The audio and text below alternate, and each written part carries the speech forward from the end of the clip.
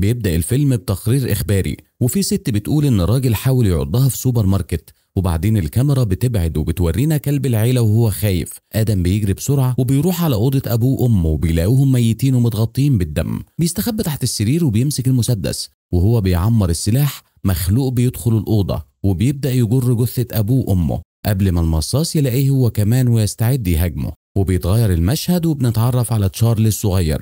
طالب في الثانوية في مقاطعة كلارك في نيفادا وهو بيجر الموتوسيكل بتاعه المكسور للبيت. بيسلم على جارته دوريس قبل ما يدخل الجراج. أمه جين بتبدأ تشتكي من الجار الجديد الغامض اللي بيرص خرسانة في الجراج من غير أي سبب واضح. بيقطع كلامهم صاحبة تشارلي إيمي اللي جاية تاخده علشان يروح المدرسة.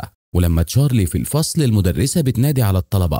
وفي كذا واحد غايب منهم واحد من أعز أصحابه هو آدم.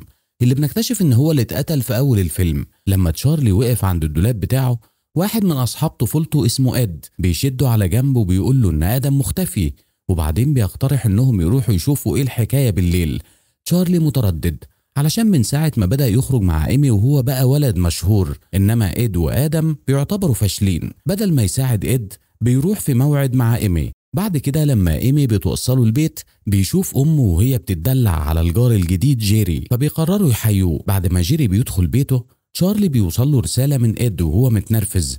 بيهدده إنه هينشر قصص محرجة عن طفولة تشارلي لو ما جاش. ده بيخلي تشارلي يجري على بيت آدم على طول وهناك إد مستنيه. الاتنين بيحاولوا يخبطوا على الباب. بس محدش بيرد فبيدخلوا بالعافية وبيتسللوا لجوة وهم بيستكشفوا البيت الضلمة الفاضي. إد بيدعي إن الجار الجديد بتاع تشارلي اللي اسمه جيري مصاص دماء. إد وآدم كانوا بيحققوا في الموضوع ده من فترة ودلوقتي متأكدين من هوية جيري. من ضمن الأدلة إن شبابيك جيري متغطية بالكامل.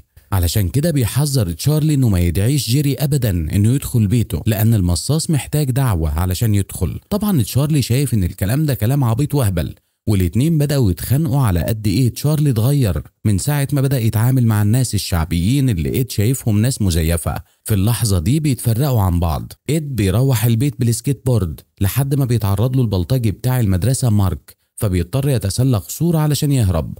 للأسف بيقابل جيري في جنينة بيت عشوائية فبيكسر وبيدخل البيت. فاكر إن جيري مش هيقدر يدخل بس جيري بيدخل عادي لأن البيت مهجور. جيري بيعلن إنه عارف إن إيد كان بيراقبه من فترة. وإيد بيبدأ يجري على السلم بس بينط من الشباك. جيري بيكون مستنيه بره إيد بيقع في حمام السباحة وجيري بيقول له يهدى لأن اللي هيحصل ده لمصلحته. بيستخدم قوة التحكم العقلي بتاعته علشان يقدر يلعب في دماغ إيد قبل ما يغرز أنيابه في رقبته. في اليوم اللي بعد كده تشارلي بيلاحظ إن إيد مش في المدرسة فبيقرر يزور بيته بعدين بس ما بيلاقيش غير أبوه وأمه هناك. بيرحبوا بيه بحرارة وهو بيطلب الإذن يطلع فوق بحجة إنه عاوز يستلف كتاب. وفي أوضة إد بيلاقي موقع لصياد مصاصين دماء اسمه بيتر فينسنت. كمان بيلاقي سلسلة فيديوهات إد سجلها في السر قدام بيت جيري وفيها بنشوف باب عربيته بيتحرك لوحده وده بيثبت إن الراجل مش باين في الكاميرات. ده بيصدم تشارلي جدا. وأخيرا بيقتنع إن اللي ايد كان بيقوله حقيقي. لما بيرجع البيت جيري بيظهر فجأة وبيقول إنه محتاج خدمة. عنده بنت في البيت بس خلصت البيرة. فبيسأل تشارلي لو عنده علبة. تشارلي بيقول له أيوه وهو متوتر. جيري بيمشي وراه عند الباب بس زي ما كان متوقع ما بيدخلش. تشارلي بيدور على علبة في التلاجة وجيري بيبص له. بيكسر إزازة بالغلط وجيري بيعرض إنه يساعده علشان ينظف. بس تشارلي المرعوب أصر إنه يقدر يعملها لوحده. بعد ما بيدي البيرة لجيري وبيقفل الباب بيطلع فوق. وهناك إيمي مستنياه. دماغ تشارلي مشغولة قوي بأفكار عن جيري دلوقتي. فبيجري على الشباك بيشوف فعلا البنت صاحبة جيري وصلت البيت. واللي طلعت إنها جارتهم دوريس. تشارلي بيزق إيمي بعنف على السرير لما جيري بيبص عليهم. إيمي مش فاهمة إيه اللي بيحصل له وبتقرر تمشي. وبعد كده بالليل تشارلي بيصحى من النوم على صوت ست بتصرخ فبيتصل بالطوارئ. بس لما البوليس بيوصل جيري بينجح إنه يقنع الضابط إنه كان بيهزر مع صاحبته. تشارلي بيراقب المحادثة دي باشمئزاز وبيركز وجيري بيركب عربيته وبيمشي على طول بعد ما البوليس يمشي. ولأن تشارلي قلقان على سلامة دوريس بيتسلل لبيت المصاص وبيبدأ يحقق بيلاقي رمز مستخبي في مكتب جيري وبياخد صورة كدليل. بس قبل ما بيكتشف أكتر جيري رجع فبيضطر تشارلي يستخبى جوه دولاب.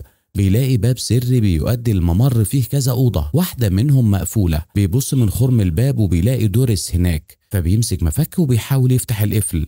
للأسف بيضطر يستخبى تاني لما بيسمع جيري وهو جاي. من شق الباب بيشوف جيري بيجر دوريس المسكينة وبيمص دمها. أثناء الهجوم دوريس بتوصي تشارلي يفضل ساكت وبعد كده جيري بيرمي دوريس وبيسيب الأوضة. تشارلي أخيرا بيفتح الباب علشان يطلع دوريس من البيت بأمان. وقت ما جيري مشغول بيتفرج على التلفزيون في الصالة الاتنين بينزلوا السلم وبدأوا يتجهوا للباب. لحد ما جيري بيظهر وبيخليهم يرجعوا لورا. بس هو بس بياخد تفاحة وبعدين بيرجع للتلفزيون تاني. ودي فرصة تشارلي علشان ياخد دوريس ويطلعوا بره بس وهما بيتمشوا اتضح إن جيري كان بيراقبهم بابتسامة كلها مكر.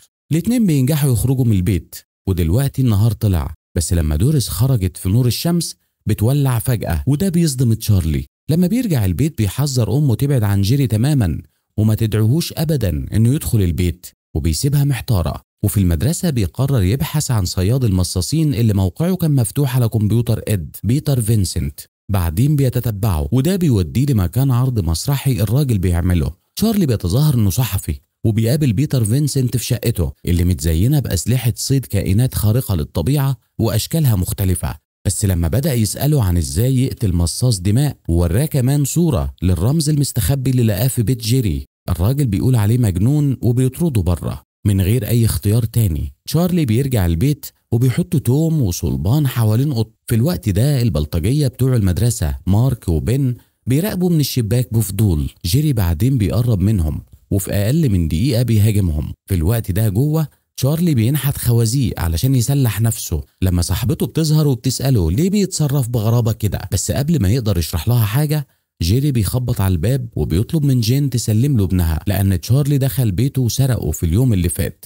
جين بتتصدم لما بتسمع كده بس بتقرر تثق في ابنها وبتطرد جيري وبتقول له يغور من هنا. ده بيغيظ مصاص الدماء جدا. فبيمسك وريك وبيبدأ يحفر في جنينة تشارلي وبيقطع خط الغاز علشان يعمل حريقة. وده خلى المدخنة تنفجر وتولع البيت. دلوقتي مقتنعين إن جيري بقى خطير جدا. التلاتة بينطوا في العربية وبدأوا يهربوا. جيري بيحاول يطاردهم بموتوسيكل تشارلي بس العجلة اللي قدام مكسورة. فبيرميها على العربية وبيخوف إيمي. لما تشارلي بيحاول يشرح إن جيري مصاص دماء أمه لسه مش مصدقة. ومش بعيد عنهم جيري بيخبط عربيته في مؤخرة عربتهم كمان بيحك عربتهم من الجنب قبل ما يسبقهم ويسد الطريق. جيم بتخاف بس تشارلي بيزعق لها تفضل سايقة. فبتعمل كده فعلا. للأسف بيواجهوا مشاكل أكتر لما جيري بيتعلق في قاع العربية وبينجح يكسر الأرضية. بيبان إنه رجع لشكله الحقيقي دلوقتي. تشارلي بيبدأ يرفصه علشان يبعده وجين أخيرا بتوقف العربية وهو بيطير منها. بس بعدين عربية تانية بتخبط في عربتهم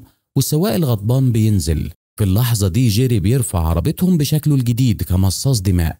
بيقرب وبيهاجم السواق وبيشرب من دمه. تشارلي بعدين بيتدخل بشجاعة بصليب كبير علشان يدافع عن نفسه وهو بيقول لأمه وصاحبته يجروا وببطء بيقرب من جيري اللي رجع لشكله الإنساني تاني. بس للمفاجأة الصليب بيحرق بس لما بيلمس مصاص الدماء وهو بسهولة بيرمي تشارلي على عربتهم وقت ما هو بيستهزأ بتشارلي على قد إيه البشر أغبياء ودايما مش بيعرفوا يصيبوا قلب مصاصين الدماء لما بيغرزوا الخازوق في المصاصين. جين بتقرب بهدوء من ورا وبتغرز علامة مرور في جيري اللي بيصرخ من الألم. في نفس الوقت جين بيغمى عليها. بعدين تشارلي وإيمي بيشيلوها والتلاتة بينطوا في عربية السواق الميت. شارلي عن قصد بيخبط في عربية العيلة فبتتقلب على جيري. وقت ما العيلة بتهرب من المكان بنقدر نشوف عظم جيري بيرجع لمكانه. وفي المستشفى البوليس كمان بيوصل علشان يسأل إيه اللي حصل بس طبعا تشارلي ما بيقولش حاجة عارف إنهم مش هيصدقوه. في الوقت ده الصياد بيتر فينسنت بيقرر يدرس البصمة اللي تشارلي سابها في مكتبه اليوم اللي فات وأخيرا بيعرف إن تشارلي ما كانش بيحاول يضحك عليه ولا حاجة بيتصل بالشاب وبيطلب منه يجي بيته.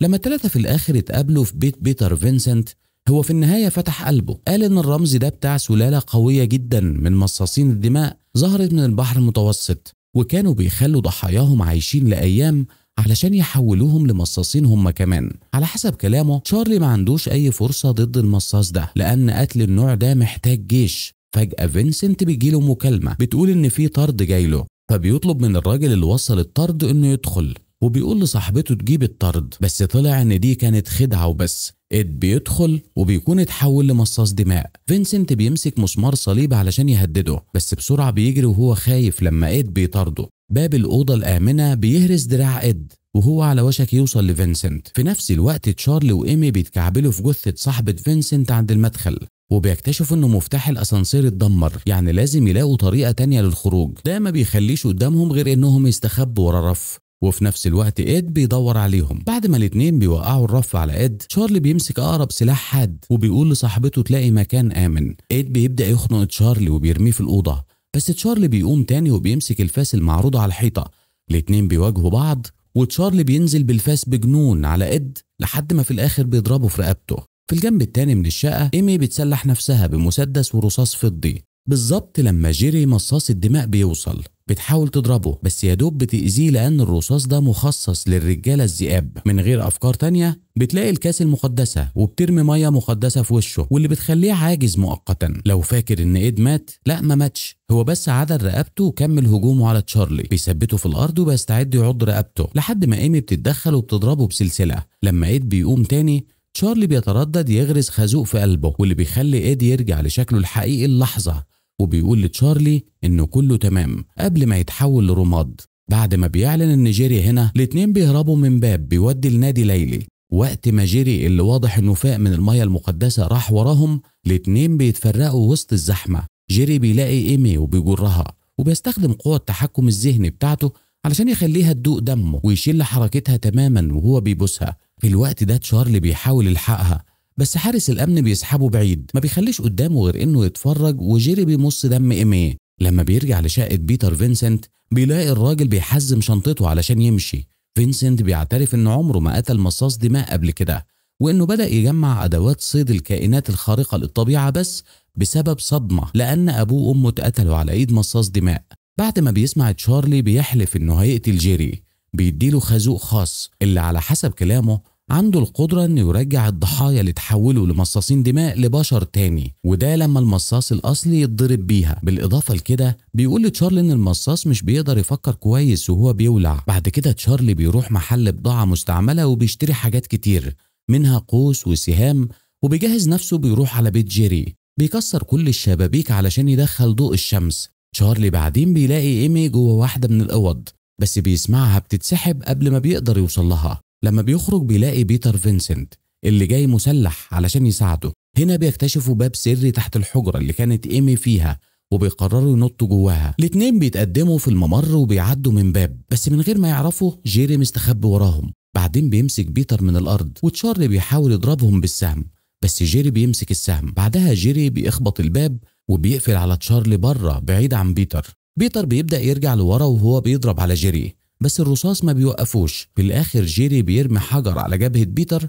بيخليه ينزف. دلوقتي باين إن جيري مش لوحده. والمصاصين الصغيرين اللي عضهم بدأوا يطلعوا من الأرض والحيطان وانجذبوا لريحة الدم. في نفس الوقت في الجنب التاني من البدروم تشارلي بيلاقي إيمي. اللي عقلها دلوقتي فاسد بسبب المصاص. بتشل حركة تشارلي. وقت ما بيتر بدأ يضرب على المصاصين الصغيرين ببندقيته الخاصة. بس البندقية بتعلق بعد كام طلقة ولما إيمي بتظهر أنيابها علشان تعض تشارلي هو بيغرز الخازوق فيها بس عن قصد بيبعد عن قلبها. تشارلي بعدين بيكسر الباب وأول ما بيشوف إن بيتر في خطر بيضرب السقف. بيعمل ثقوب صغيرة بتخلي ضوء الشمس يدخل علشان ينقذ بيتر. جيري فهم إن بيتر اتعض لما بيشوفه بيدخن في ضوء الشمس وبيتحول لمصاص ببطء. إيمي بتقرب من جيري وبدأت تبوسه.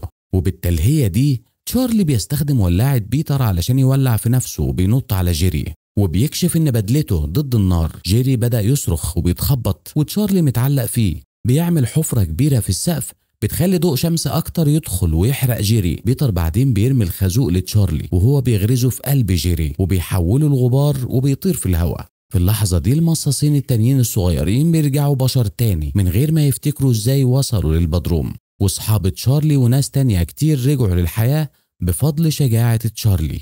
ودي نهاية الفيلم ونتقابل في تلخيصة جديدة. وشكرا للمشاهدة.